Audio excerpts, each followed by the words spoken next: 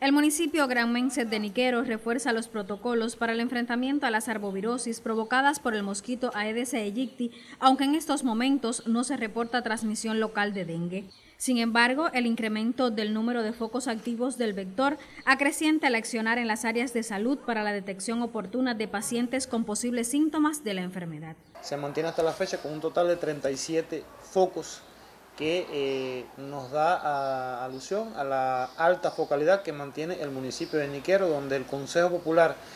con más incidencia es el Consejo Popular número 6, le continúa el Consejo Popular número 7 y seguidamente está el Consejo Popular número 8. Hasta este minuto nosotros en el municipio no podemos hablar de que tenemos una transmisión de dengue porque de los casos reactivos que hemos tenido en el municipio, los mismos han tenido vínculo con otras provincias y otros municipios que sí están en transmisión y por tanto han, han focalizado Teniendo en cuenta los protocolos establecidos por el Ministerio de Salud Pública, se realizó la capacitación a todo el personal de la atención primaria, donde los consultorios del médico de la familia desempeñan un rol fundamental en la pesquisa comunitaria para el diagnóstico de pacientes sospechosos con dengue. Igualmente, en el Hospital Gelacio Calaña están determinados los recursos y asistencia sanitaria para quienes necesiten ingreso institucional. Todo síndrome febril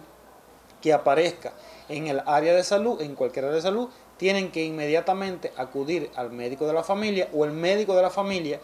que pase por su casa, hacer su pesquisa. Esta pesquisa va a estar dirigida a donde esté el síndrome febril inespecífico, a donde esté el caso de IgM reactivo o a donde esté la aparición de la reactividad, o sea, reactividad cuando la IgM se esté y se dé positiva. Que en el Hospital Gerasio Calaña contamos en este minuto con una sala la misma está constituida por tres camas, que es para la atención a los pacientes, ya con decisiones específicas, ya con, situaciones más concretas, con la situación de, del dengue. El paciente, tanto en el hospital como en su casa, debe permanecer hasta tanto se demuestre lo contrario, bajo el mosquitero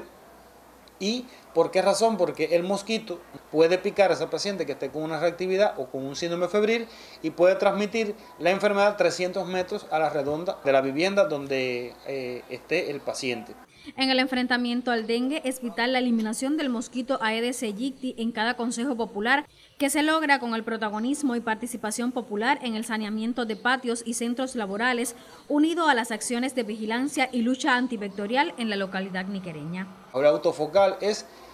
vital en esta, en esta etapa. Se hicieron acciones con, en la Comisión de Sostenibilidad directamente con el grupo que atiende la parte de comunales, conjuntamente con los trabajadores y además con los centros laborales para hacer limpieza, limpieza y embellecimiento de cada uno de los centros laborales para declarar el municipio libre de eh, vector. Es evidente que sin Aedes aegypti no hay dengue. Por tanto, requiere de la conciencia y responsabilidad individual y colectiva eliminar los posibles criaderos del vector de conjunto con el trabajo multisectorial y comunitario para no lamentar la transmisión de las arbovirosis en este territorio sureño. Inés Castro Machado, en directo.